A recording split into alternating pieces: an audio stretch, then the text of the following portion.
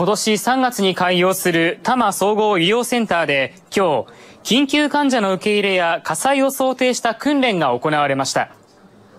訓練は府中消防署と病院などが協力して開院前の真新しい施設を利用して行ったもので150人が参加しました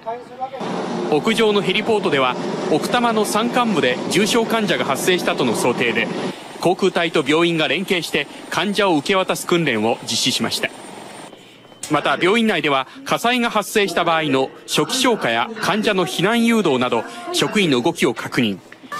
外にはポンプ車やはしご車など15台が出動して放水訓練や逃げ遅れた患者の救出などが行われました。